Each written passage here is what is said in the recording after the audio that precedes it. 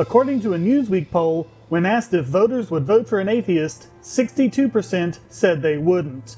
Only 29% said they would. A lot of discussion has been made regarding the results of this poll, but what does it really mean? Really, the only thing you can conclude is that people won't vote for an atheist if that is the only issue. The poll didn't present anything else other than religion. It didn't present any specific position on foreign or domestic policy or the economy or civil liberties. Since atheism was the only thing specifically mentioned, it was the only real criteria the respondents could use to judge the hypothetical candidate.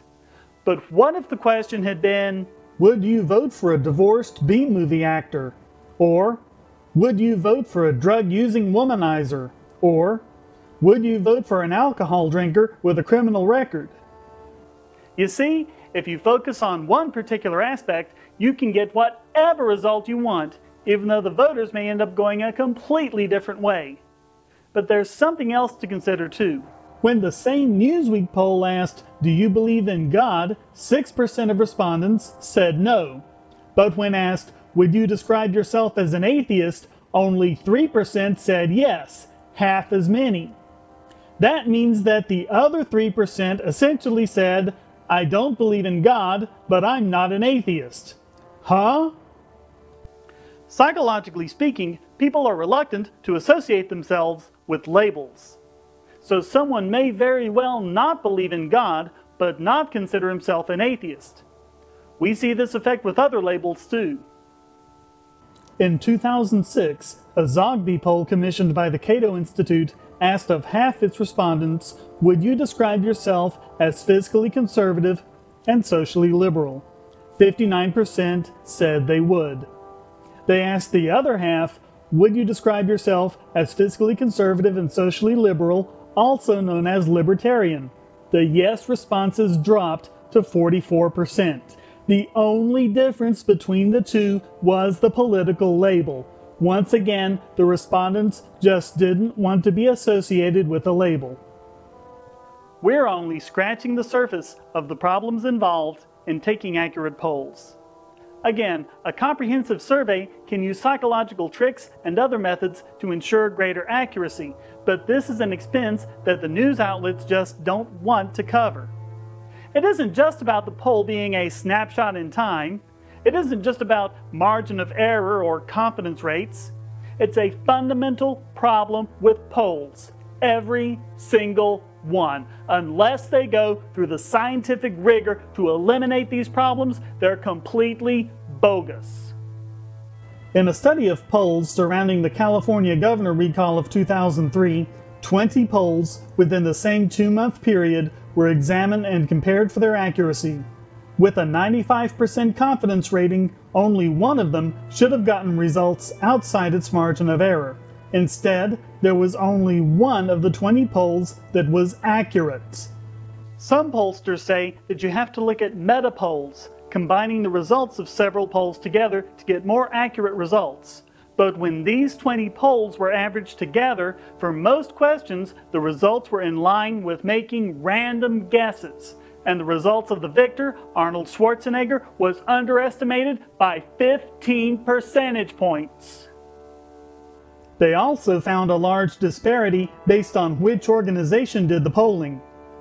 Knight Ridder and the Los Angeles Times did the best job with 60% accuracy, which in school is just barely squeaking by with a passing grade.